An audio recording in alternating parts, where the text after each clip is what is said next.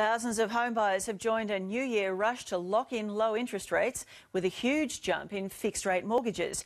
But when is the right time to move and how can you be sure you'll be better off? I have been thinking about that.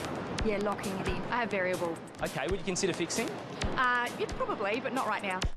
Rates are very low right now, but the cheapest money is basic variable. Lock it in. Yeah, the short term, yes. Fixed or variable? Tonight, we ask the experts, Paul Clitheroe and Aussie John Simon. If you're already at record or near record lows, it's a pretty good time to get serious about uh, locking away at least part of your home loan. In my opinion, take the cheapest variable loan you can and get stuck into it. With interest rates at their lowest levels in decades, thousands are choosing to lock in their home loan.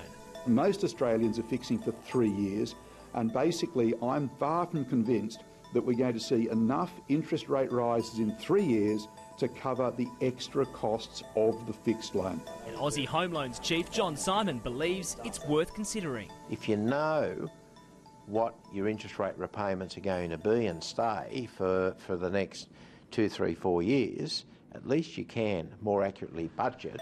Aussie John's offering fixed rates for between one and five years, starting at 4.79%.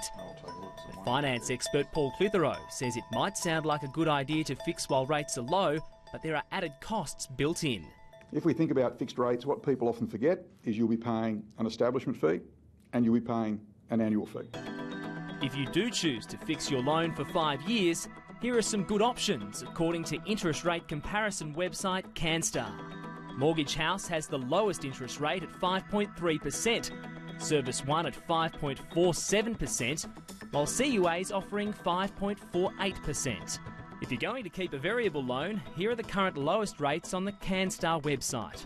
Loans.com.au at 4.53%, Ubank at 4.62%, or state custodians at 4.74%. I very strongly would recommend before you talk to anyone that you do five minutes of your own research.